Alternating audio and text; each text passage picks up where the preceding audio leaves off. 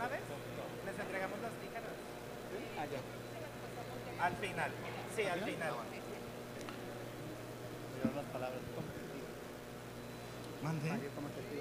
Ya está prendido. Y uno, dos. Y se- le doy primero el micrófono a Guillermo, ¿verdad? Hola. Hola, ¿qué tal? Buenas tardes. Distinguidos invitados y miembros de la comunidad académica e industrial.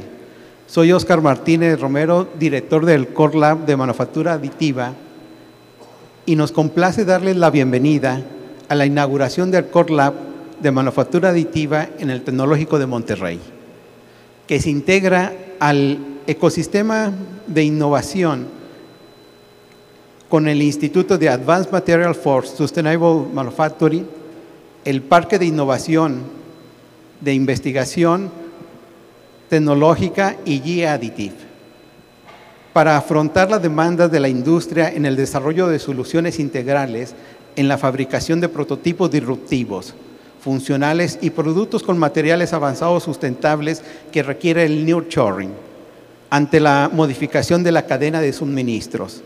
Para consolidar como una referencia global en investigación e innovación en el desarrollo de materiales y prototipos funcionales industriales, por lo que tomará un rol fundamental en la manufactura aditiva en México y en todo el mundo. Nos reunimos aquí para llevar a cabo el corte del listón, que simboliza el inicio de una era de innovación y avances en manufactura sostenible. Gracias por ser parte de este momento histórico. Permítame presentar a nuestros distinguidos invitados. Doctor Guillermo Torre, rector de TES Salud y vicepresidente de investigación del Tecnológico de Monterrey. Damos un fuerte aplauso.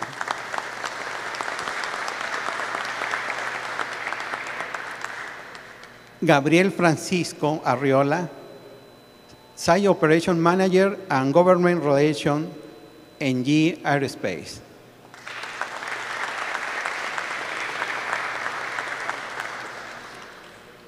José Alfredo Pérez Bernal, Director General del Instituto de Innovación y Transferencia de Tecnología del Estado de Nuevo León.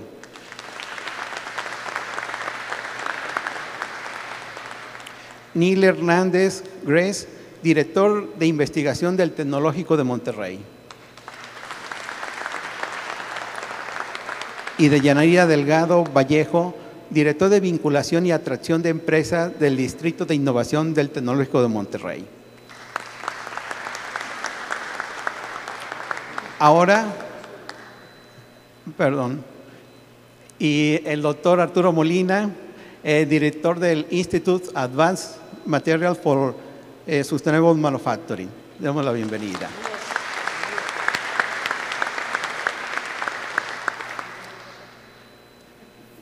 Ahora vamos a ceder el micrófono a nuestros invitados y acto seguido se, se cortará el listón. Iniciaremos con el, con el doctor Guillermo Torre. Muchas gracias, muy buenas tardes a todos. La verdad, este es un día interesante porque vengo de otro evento en el campus, de también una ceremonia de la relación de investigación con industria, que quiero por eso subrayar esto ahora.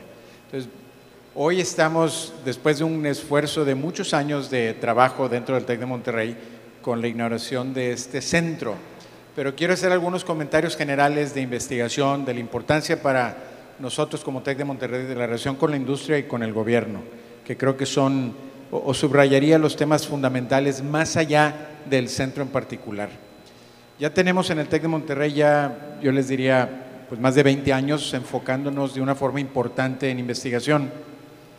Y en los últimos tres en particular, con el liderazgo de David Garza, el rector y presidente del TEC de Monterrey, hemos centrado mucho la atención en investigación como un proceso fundamental para mejorar la calidad educativa, para relacionar a la universidad con los problemas reales de la humanidad y en ese contexto pues mejorar la vida de los ciudadanos. El TEC tiene una misión importante en educación, queremos formar líderes que tengan emprendimiento y a través de eso pues mejorar la calidad de vida de México. Y hoy como una forma importante con este evento y con el que tuvimos hace rato, estamos comprometiéndonos a crear todavía un valor mucho más en investigación. investigación es un tema grande y entonces puede uno preguntarse por qué hemos decidido las áreas en las que estamos. Tomamos como foco central en dónde podemos como tecnológico contribuir de una forma importante a avanzar áreas del conocimiento que tengan algo de aplicación real. Y decidimos entrar en tres grandes áreas. Una es en avanzar el futuro de la educación y creamos lo que llamamos el Instituto para el Futuro de la Educación. El TEC tiene una tradición educativa y dijimos eso, tenemos información, tenemos ya una carrera caminada y ahí podemos tener una contribución importante para resolver un problema de contexto global. Otra área importante, hemos incursionado en el tema de salud, y, salud no es solamente un tema de medicina, es un tema de política pública, de manufactura, de biotecnología, de nuevos alimentos.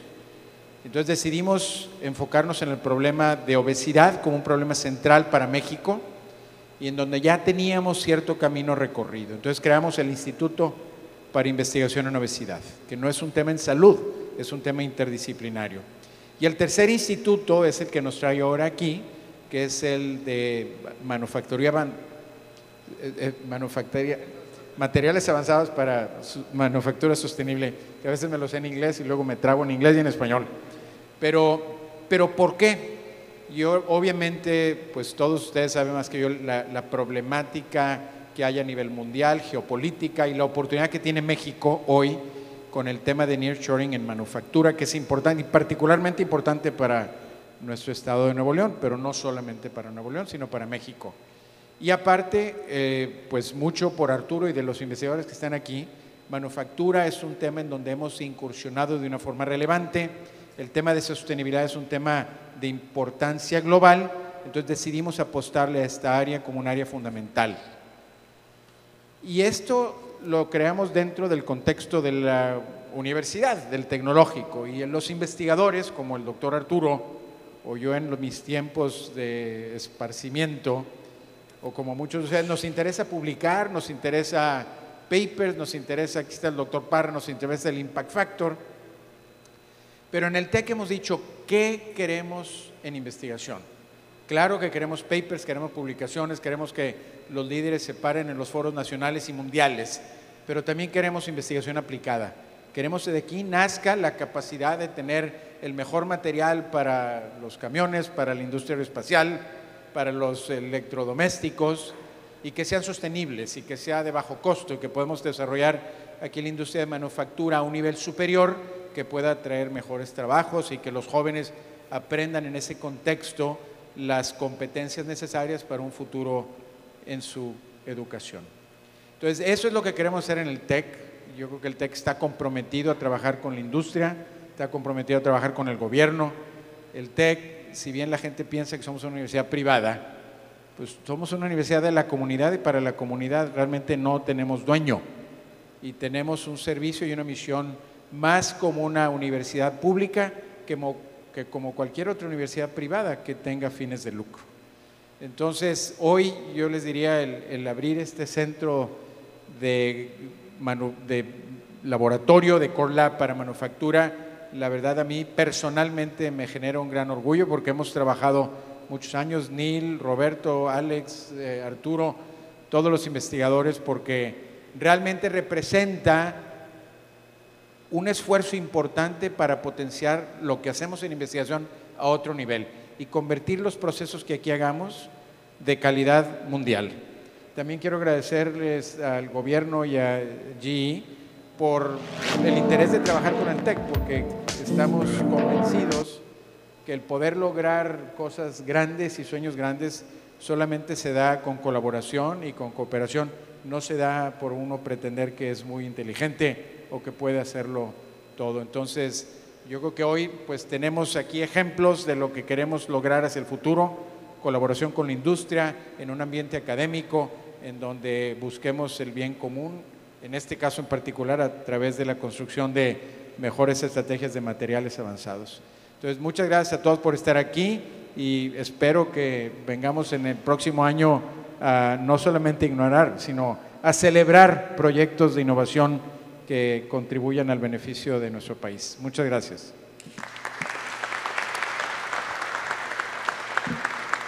Muchas gracias, doctor Guillermo. Ahora vamos a continuar con Gabriel Arreola. Gracias. Eh, eh, si me permiten, y, pues dada la relevancia de, este evento, pues preparé un discurso breve que, a continuación este, voy a dar lectura. Entonces, eh, primero me gustaría saludar de una manera muy, muy especial y, y, con gran agradecimiento a todo el personal tecnológico de Monterrey por habernos hecho partícipes de este acontecimiento tan importante que marca un hito significativo en el quehacer científico y tecnológico del país. Gracias a todos ustedes por hacernos partícipes. También saludo al maestro José Alfredo Pérez Bernal. Gracias también por apoyar este tipo de iniciativas que buscan seguir poniendo a México en el mapa global de ciencia frontera en temas de materiales avanzados y manufactura aditiva. Muchas gracias, maestro. Y por supuesto también saludo a los doctores Alex y Oscar con quienes iniciamos conversaciones hace ya algunos años. recuerdo de manera muy clara la, plática que tuvimos al respecto eh, durante, FAMEX en 2019 y, en ese momento platicábamos de una visión en donde por medio de la colaboración estrecha entre academia, industria y gobierno, se posicionaban las tecnologías de manufactura aditiva como parte fundamental del quehacer científico y tecnológico del país y se convertían en un referente de México hacia el mundo. Qué gusto compartir este momento con ustedes, es prácticamente pues un sueño hecho realidad. Y pues por supuesto también saludo a todos los presentes, colegas, todos interesados en fortalecer el desarrollo tecnológico por medio de espacios como este que hoy estamos inaugurando. Es un gusto ver a los actores principales de temas de manufactura aditiva en el país reunidos en este lugar, mostrando así un interés real de colaboración. El mundo en que vivimos el día de hoy presenta retos muy importantes en temas de sustentabilidad, como ya lo hemos estado eh, platicando y escuchando eh, en, diferentes momentos durante el día. Para asegurar el presente y el futuro de nuestras generaciones, existen al momento diversas iniciativas con un enfoque central en hacer más eficientes productos y procesos con un factor común que es la innovación disruptiva las nuevas tecnologías de manufactura aditiva y todo el desarrollo que se ha tenido en materiales han sido fundamentales para afrontar estos retos. En el caso específico de manufactura aditiva, está presentes de prótesis dentales y ortopédicas que se utilizan para solucionar problemas de salud, hasta en los motores de aviación más avanzados que son capaces de tener un mejor desempeño y mejoras significativas en peso y en consumo de combustible con base en aplicaciones diseñadas específicamente por manufactura aditiva, mismas que no podrían ser factibles con técnicas de manufactura convencional. Un ejemplo claro de esto es el inyector de combustible que vemos ahí en la pantalla, que fue eh, uno de los primeros componentes de manufactura aditiva certificados por la Agencia Federal de Aviación en Estados Unidos y que actualmente se encuentra volando en diferentes aeronaves por medio de procesos de rápida iteración, hemos sido capaces como industria de incentivar la innovación y desarrollo de aplicaciones que antes eran inimaginables. El proceso de reaprendizaje de lineamientos para diseño presenta un reto importante, ya que los límites de diseño con técnicas de manufactura convencional desaparecen cuando entendemos las ventajas de manufactura aditiva prácticamente se difuminan las líneas entre lo posible y lo imposible para dar cabida a la innovación pura con pensamiento sistémico.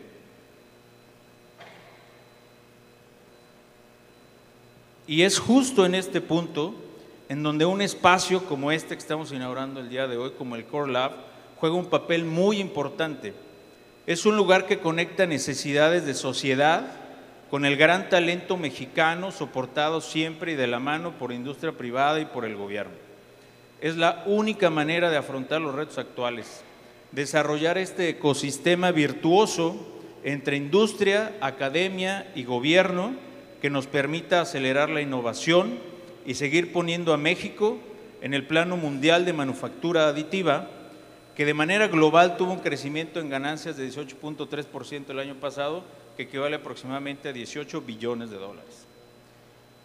Finalmente, para concluir mi participación, pues los invito a todos aquí presentes a que busquemos formas de colaboración con el Core Lab, a que no dejemos descansar aquí a nuestros colegas y busquemos maximizar el beneficio que este espacio brinda para la sociedad en general. Felicidades al Tecnológico de Monterrey, al Estado de Nuevo León y a todo México por contar con espacios tan virtuosos como este. Muchas gracias a todos.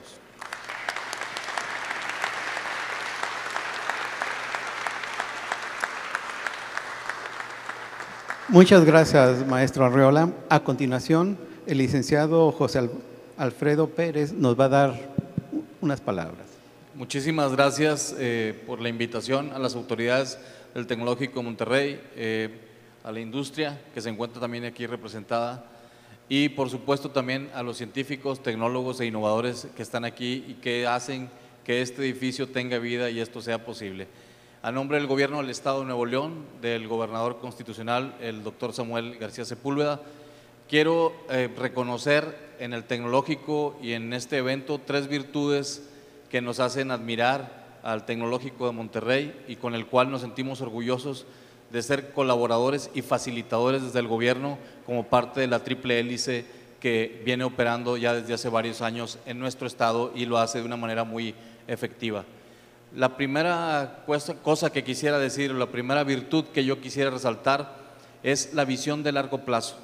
El Tecnológico de Monterrey cumple 80 años en, estos, en estas fechas, está conmemorando estos primeros 80 años de muchos más que habrá seguramente y que hace posible que este ecosistema de ciencia, tecnología e innovación prospere abundantemente. Y la segunda virtud que le quiero reconocer al Tecnológico de Monterrey aparte de esta visión de largo plazo que es práctica y se adapta día con día a, la transformación que está surgiendo el mundo, nuestro país y por supuesto nuestro Estado, es la colaboración. Aquí lo han insistido muchísimo y es que es efectiva, esa colaboración es efectiva y eh, no hay envidias, no hay menoscabo y los convenios de colaboración lo avalan. Tienen convenio de colaboración con la Universidad Autónoma de Nuevo León, con la Universidad Nacional Autónoma de México y con distintas instituciones a través de no solamente de nuestro país, sino del mundo. Entonces, visión de largo plazo, capacidad de colaborar y hacer equipo, la segunda virtud que reconocemos en el TEC. Y la tercera es la de formar talento, pero no cualquier talento, un talento responsable, comprometido, no solamente con su comunidad, sino con el mundo y con el medio ambiente. Eso eh, lo vemos ahora en el instituto del cual acabamos de hablar también. Entonces, estas tres virtudes hacen que el tecnológico de Monterrey prospere para el beneficio de Nuevo León y de México y del mundo, porque esto, este Core Lab y el instituto nos pone en esa competitividad. A veces eh, se ha malinterpretado cuando eh, el gobernador ha mencionado que, él no está compitiendo contra otros estados del país. Déjenme explicarles el por qué. Porque estamos compitiendo contra el mundo. Es decir, tenemos que estar a la altura de los retos mundiales que se están presentando y ahora con el fenómeno eh, del nearshoring eh, se ha acentuado más. Ese es el estándar que nos está exigiendo el mundo y al cual nosotros aspiramos a competir con ellos. Entonces, para eso necesitamos de hombres y mujeres comprometidos, formados, eh, con talento que hay en Nuevo León para ponerlo a disposición de la comunidad y del bien común. En esa parte quiero reconocerle eso al Tecnológico de Monterrey, estas tres virtudes, y decir que seguirán contando con el gobierno del Estado de Nuevo León en esa labor de colaboración, facilitación, porque los protagonistas y los actores son ustedes. A nosotros solamente nos toca encauzar las políticas públicas para que la ciencia, la, tecnología y la innovación lleguen a donde tienen que llegar, que es a las personas, el bienestar de nuestra comunidad. Muchísimas gracias.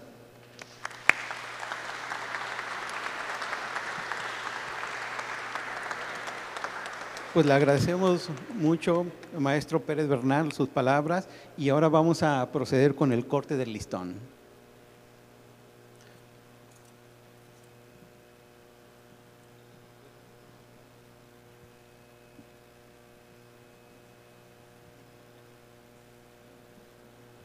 Si gustan acercarse para la toma de la foto antes de cortar.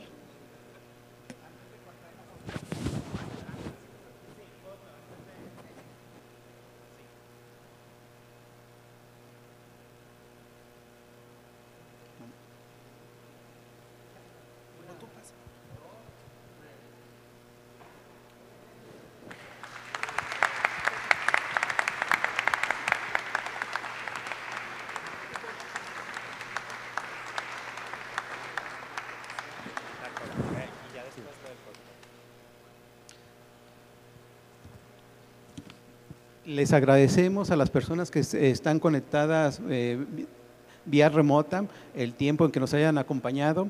Eh, ahorita, pues a los que están de manera presencial, los vamos a invitar a un cóctel y vamos a tener un tour para las personas que deseen conocer los nuevos equipos y los diferentes laboratorios que cuenta el Instituto y el Corla de Manufactura Aditiva.